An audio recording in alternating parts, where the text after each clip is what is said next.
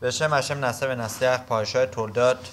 همینطور که می‌دونیم منو بعد از 20 سال صاحب فرزند میشه و خیلی مضطرب میشه نگران میشه. چرا که هر بار از کنار بوت کرده رد می‌شده.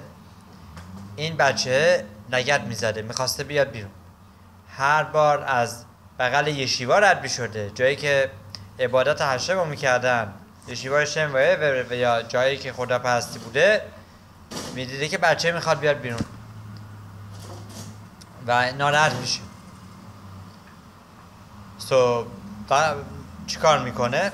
عوض اینکه بره از شوهرش بپرسه موضوع چیه عوض اینکه از ایسحاق آوینو بپرسه لیوقای منو میره و از یشیوا شم و اور از اون چرا؟ می‌پرسه. چرا؟ آه. جواب اولی که خواهم می‌فهمه اینه که نمیخواستش که شوهرش رو ناراحت بکنه. گفتش که اگه هشم این مو... هشم داره به من موضوعی رو میگه که درباره این فرزندانه که حتما شوهر من نباید بدونه. از اینجا خخامی میاد میگن هر چیزی رو آدم نباید با هر کسی در میون بگذاره. آدم نبایدش هر شخصی بیاد ناراحت بکنه. تا اونجایی که گفته شده که توی گمارا شخص که میاد خبر ناگواری رو به دیگری میگه این شخص خطاکاره. مگر اینکه مجبوره یا باید یا از روی اجبار باید بیاد بگه و اینطور کمک بخواد. مثلا کمک می‌خواد. مخصوصا این گفته شده در زمینه اینکه مثلا شخصی که از دنیا میره. کسی که از دنیا رفته چرا آدم باید به همه بگه؟ مگر اینکه به کسایی که واقعا من باید بدونن. باید بدونن باید گفته بشه. So, وقتی که بهش جواب میدن میگن که تو فرزند. تو دو تا فرزند داری. تو دو تا فرزند داری که یکیش راه خوب میره یکی راه خداپرستی میره یکی راه غیر خداپرستی میره یشیوای شم و ایبر نواده های بچه های نوخ بله خخامه میفرماین اون موقع بودش که ریفکا یه مقدار آروم شد. چرا؟ چون آدم فرزندی رو داشته باشه که هم بخواد راه درست بره و هم راه اشتباه بره این درست نیست. اگه آدم فرزندی داره که خدا پرسته راه درست میه میسوا کار خیلی خوبه.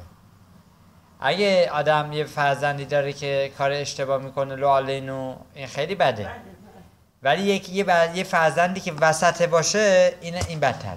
چرا؟ اون اون فرزندی که وسط هست خود کار خوب می‌کنه. موقعی که کار خوب می‌کنه از خودش راضیه. اون موقعی که کار اشتباه می‌کنه اگه وجدانی داشته باشه وجدانه ممکنه مقدار آزارش بده. ولی چون که یه مقدار کار خوب می‌کنه میگه کار خوب من با کار بد من در.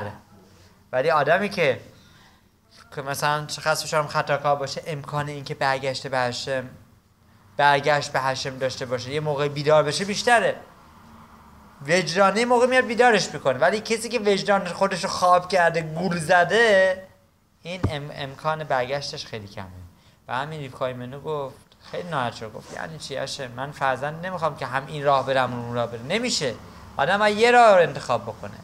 وقتی فهمید این دو تا یه مقدار دلش قرار شد. گفت حالا اون فرزندی که خطا کاره می‌تونم من آدمش کنم. می‌تونم کمکش کنم که خدا پرست بشه.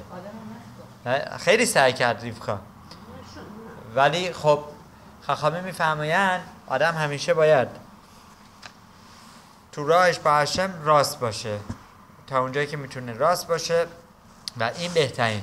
و کسی که یه مقدار خطا داره ولی فکر می‌کنه که خطا کار نیست این خیلی سخته که برگرده به هشم. شاید هشم کمک کنه که ما همیشه بتونیم با هشم ارتباط مستقیم و کامل داشته باشیم. و نمال آمین.